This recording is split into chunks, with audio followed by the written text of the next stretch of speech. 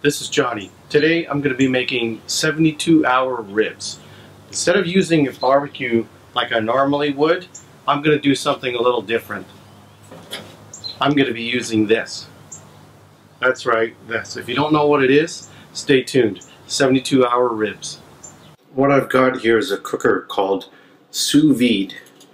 And what it is, is you vacuum seal your food into water in this bag and you set your temperature. Set your time.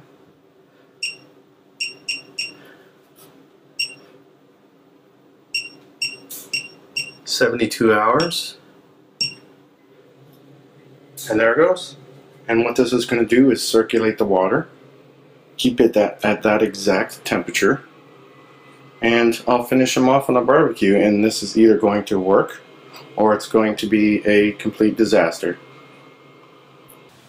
For anyone who's never heard of the sous vide method and you're probably thinking that's not quite the way you'd like to have your food prepared, uh, nothing could be further from the truth. When it's cooked perfect every time and you can't make a mistake, how can you go wrong? And the whole point of the barbecue afterwards is to grill it up and get that nice seared texture and you can get your grill marks, everything. Okay, so two reasons why I'm doing these ribs for 72 hours. The first reason is I really just wanted to see what it was going to be like to cook the ribs for 72 hours and see how it turned out. I really want to get that meat that where it pulls right off the bone. And so you've got to really break down that meat by cooking it at a low, slow temperature. So the other way to really break down that meat is this.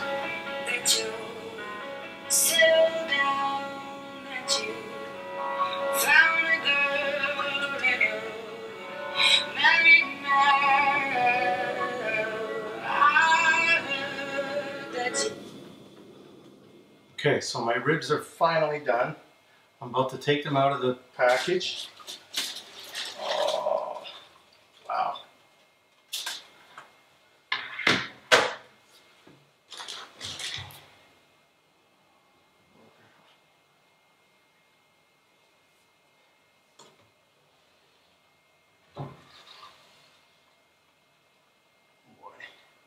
Wow.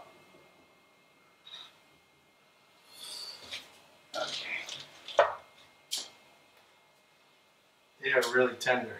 I really hope this turns out. Okay, so what I'm going to do is I'm going to take them out of the package. I'm going to finish uh, finish them off with my little bit of spice that I used to marinate them with in the beginning.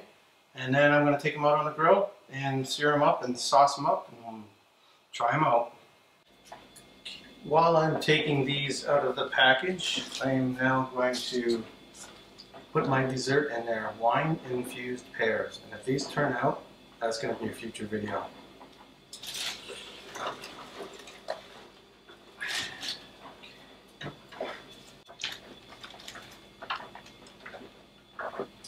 I don't even think I can touch them. They're it just absolutely fell apart.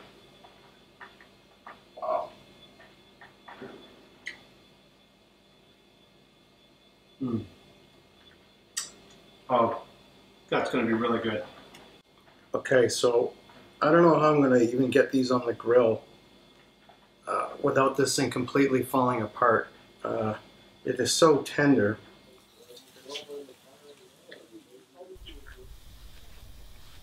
These ribs are looking really good.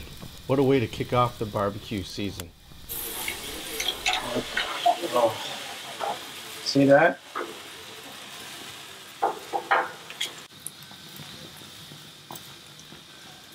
Okay, finally the big moment is here. Three days. Let's see if it was if it was worth it. I know I made a mess of the ribs, but I just couldn't help it. The the meat just broke down so much. It must have been the Adele song. You know, I could see the I could hear the tears. I could hear the tears as that song was playing. The meat was breaking down. Uh, I got sweet potatoes. I grilled up some asparagus. I got some fresh uh, emmental cheese uh, fresh from right off the, the, wheel. The guy cut it from the store uh, this morning. And if you've seen that, that that episode of The Amazing Race, Chris and Nancy, you know what I'm talking about. Uh, I hope I pronounced that right. And if I didn't, while I'm here for your entertainment, this is everything that I used: Bone Suckin' Sauce, and their and their uh, seasoning rub. I love this stuff; it's really great. And I'm finishing it off with an Angry Orchard cider. If you've never had this stuff, oh, I love it. Oh, that's really good. Go try some. So here we go. Wow. Mmm. Oh. Oh my god. I don't even care about any of the other food that's here because this stuff is so good. Look at this. Unbelievable. Oh, this, this I like. Mm. The crisp, crispness of the apples, uh, the apple cider goes with the pork. Mm. Mm. The cheese, cheese. Oh yeah. Fresh, fresh from the cheese wheel that was this big around. I'm not kidding. Mm.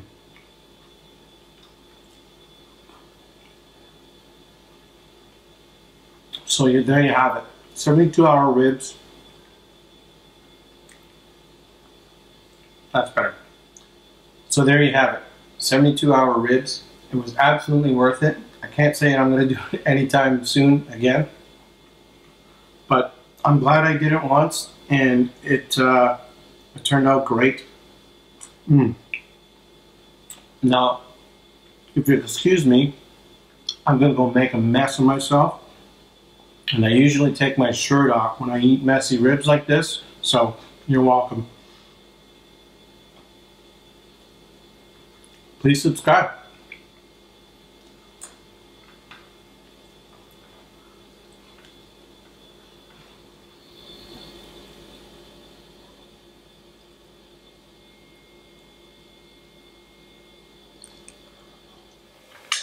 I heard that your dreams came true.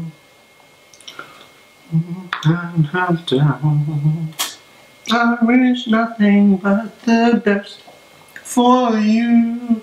Ooh, ooh. Mm, mm.